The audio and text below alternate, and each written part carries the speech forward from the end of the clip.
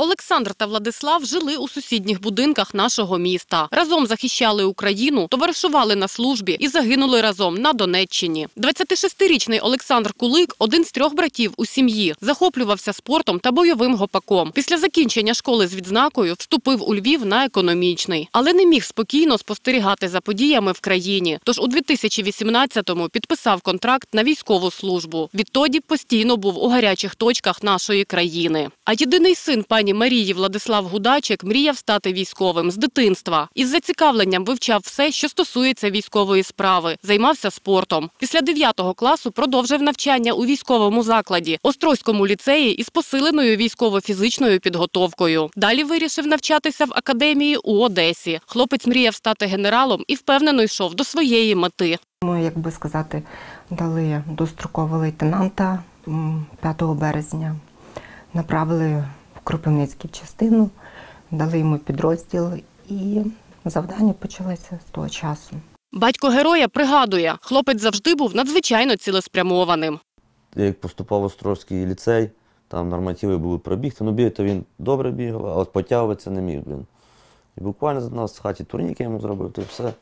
Буквально за пару місяців все, він став, бо треба там 15 разів на п'ятерку було підтягнутися. Все, він до цієї цілі за пару місяців, кожен день він це цілеспрямовано, все-все підтягувався.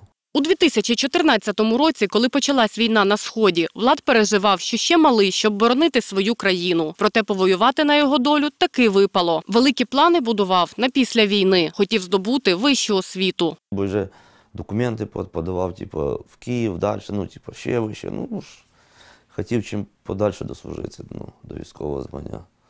Ну, а документи вже він готовий, бо нам документи поприходив, але, як то кажуть, не встиг, не вийшов.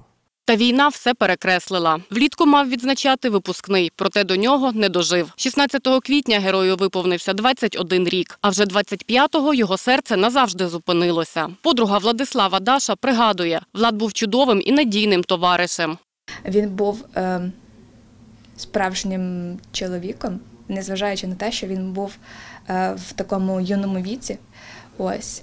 І він був вірним другом. По-перше, в нього було дуже хороше почуття гумору.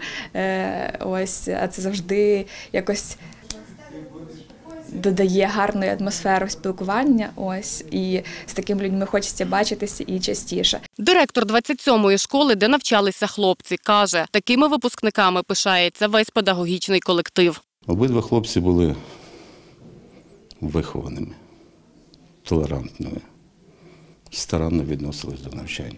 Така побутує фраза, що війна забирає найкращих. Це справді так. Хлопці патріоти України були. Тобто виховання їхнє, все. Тобто це були справді національно свідомі учні. Тепер же в рамках декомунізації на честь загиблих товаришів планують переназвати вулицю Макарова. Рідні та друзі таку ініціативу підтримують. Ну, приємно, хай пам'ять хоч якась буде, знаєте. Ну, я багато на районі багато хто знав і в школі, те все. То. Я як друзям розказав, кажуть, о, оце то круто, бля. За словами Віктора Шакерзяна, назва вулиці Гудачика і Кулика – ініціатива військової частини, де служили воїни. Що лист на прохання те, щоб саме назвати ну, іменем їх. І в свою чергу, оскільки вони проживали на вулиці Макарова, тобто це і район Боярки, було таке прийняте рішення комісійно, одноголосно прийняте і проголосовано, щоб назвати саме Гутачика і Кулика. Я думаю, що це важливо для нашої громади, і оскільки вони двоє хлопців загинули разом і проживаючи на цій вулиці, думаю, це було правильне рішення.